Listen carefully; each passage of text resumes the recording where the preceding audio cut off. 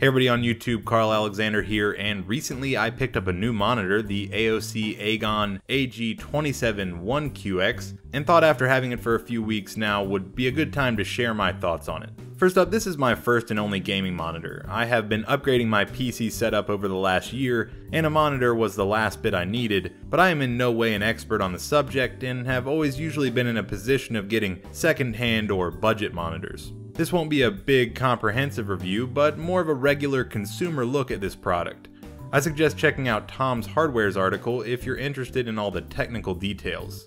I stumbled upon the AOC Agon by chance, and it hits almost all the checkboxes I wanted. It's 27 inches, 1440p TN panel, 1 millisecond response time, and has a high refresh of 144 Hz. What it doesn't have is an IPS panel and G-Sync, but for the great price of $400, I decided to go for it. So first up, build quality is fantastic. The base and stand seem to be solid aluminum and have a good amount of weight to them. The backside of the monitor has a great red and black finish, and though you'll never see it once you put it on your desk, it's a nice touch. Beyond its size and resolution, it features things like USB 3 pass-through, headphone and microphone pass-throughs, a headphone holder, and a seemingly pointless remote control. Seriously, it's stupid and just takes up space on your desk. As with almost all other gaming monitors, the screen can be moved up and down, side to side, and tilted up and down. This is a great feature, but once you get it into a nice spot, you won't be using it much. However, this does make it flexible for moving to a new desk or setup in the future. As far as inputs go, you've got a single DisplayPort 1.2 port, two HDMI 2.0 ports, one DVI port, and surprisingly a classic old D-sub VGA port. This is a great set of inputs and should cover almost any device you own, including your computer and game consoles.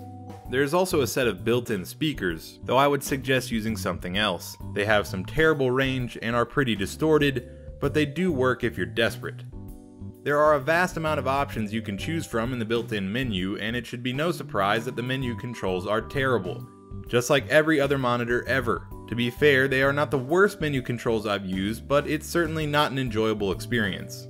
Several presets come with the monitor, but honestly they all suck. Every single one of them. The biggest issue with this monitor is its terrible calibration and base settings. I followed Tom's hardware settings and it looks great. If you use presets, it doesn't. There are several different game modes for different types of games, but I saw no point in using this feature as they tend to change the color and brightness greatly, and I've always just preferred one nice calibrated setting. If you get this monitor, don't expect it to look great out of the box. I had a moment of sheer terror when I saw how horrible 1440p looked initially, and was suddenly dreading the return process before I calmed down and changed the settings.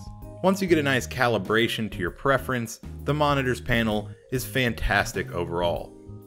The biggest issue I've ran into is backlight bleed. Backlight bleed is mostly unavoidable and is usually simply a result of poor manufacturing quality.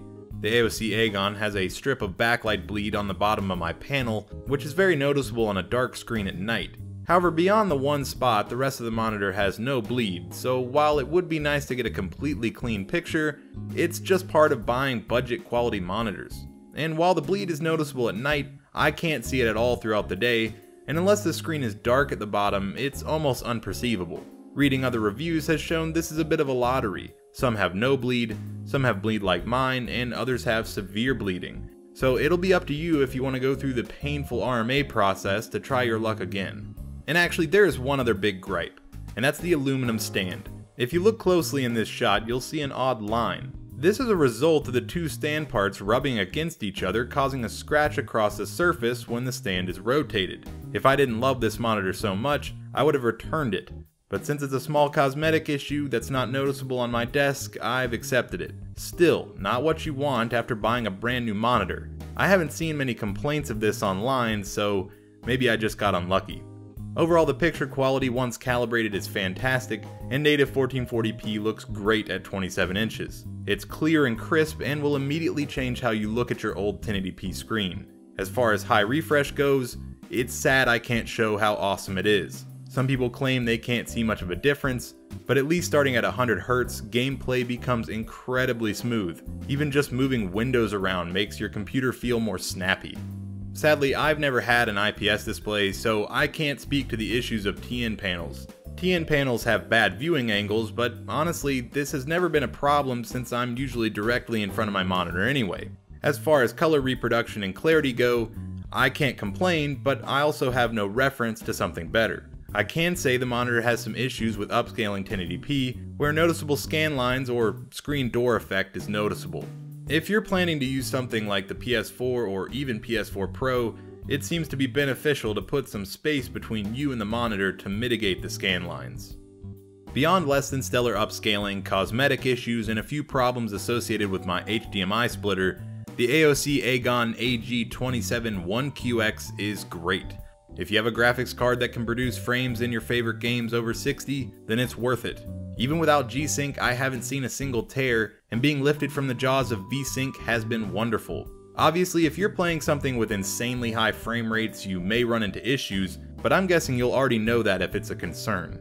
As I've said, I got the Agon for $400, and I think at that price you can't do much better considering the feature set high frame rate sweet spot price 4K is still several years away, and I think in the meantime this 1440p monitor is going to serve me quite well.